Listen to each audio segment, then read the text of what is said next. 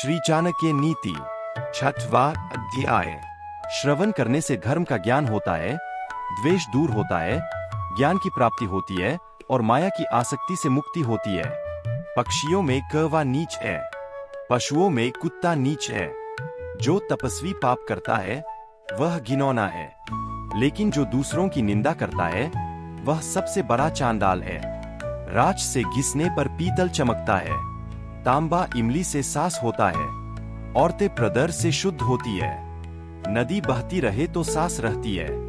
राजा, ब्राह्मण और तपस्वी योगी जब दूसरे देश जाते हैं तो आदर पाते हैं। लेकिन औरत यदि भटक जाती है तो बर्बाद हो जाती है। धनवान व्यक्ति के कई मित्र होते हैं, उसके कई संबंधी भी होते हैं। धनवान को ही आदमी कहा जाता है, और पैसे वालों को ही पंडित कहकर नवाजा जाता है। सर्वशक्तिमान के इच्छा से ही बुद्धि काम करती है, वही कर्मों को नियंत्रित करता है। उसी की इच्छा से आसपास में मदद करने वाले आ जाते हैं। काल सभी जीवों को निपुणता प्रदान करता है, वही सभी जीवों का सहार भी करता है। वह जागता रहता है, जब सब सो जाते हैं। काल को कोई जीत नहीं सकता, जो जन्म से अंध है, वह देख नहीं सकते। उसी तरह जो वासना के अधीन है, वह भी देख नहीं सकते। अहंकारी व्यक्ति को कभी ऐसा नहीं लगता कि वह कुछ बुरा कर रहा है। और जो पैसे के पीछे पड़े हैं, उनको उनके कर्मों में कोई पाप दिखाई नहीं देता। जीवात्मा अपने कर्म के मार्ग से जाता है। और जो भी भले बुरे परिणाम कर्मों के आते हैं, उन्हें भोगता है। अपने ही कर्मों से वह संसार में बंधता है, और अपने ही कर्मों से बंधनों से छूटता है। राजा को उसके नागरिकों के पाप लगते हैं। राजा के यहाँ काम करने वाले पुजारी को राजा के पाप लगते हैं। पति को पत्नी के पाप लगते हैं। गुरु को उसके शिष्यों के पाप लगते हैं। अपने ही घर में व्यक्ति के ये शत्रु हो सकते हैं।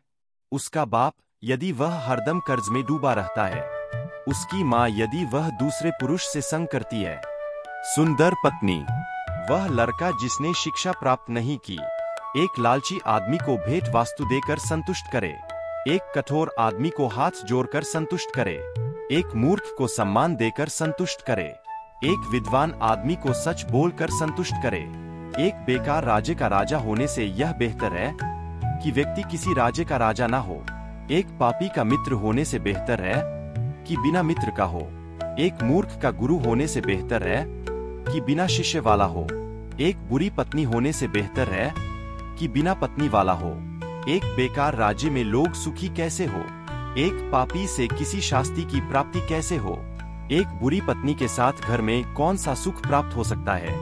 एक नालायक शिष्य को शिक्षा देकर कैसे कीर्ति प्राप्त हो? शेर से एक बात सीखे।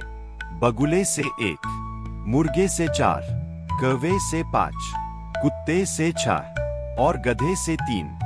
शेर से यह बढ़िया बात सीखे कि आप जो भी करना चाहते हो एक दिली से और ज़बरदस्त प्रयास से करें।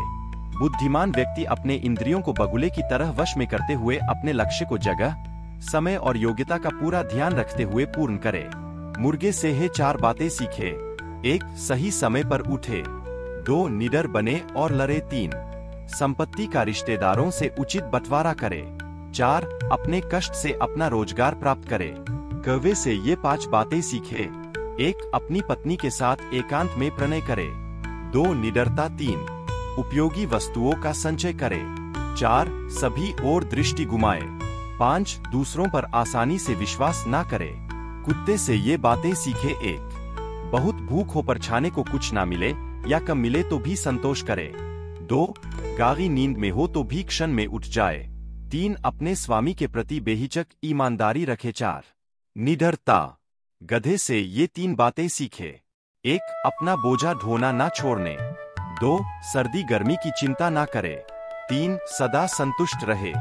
जो व्यक्ति इन बीस गुणों पर अमल करेगा, वह जो भी करेगा सफल होगा।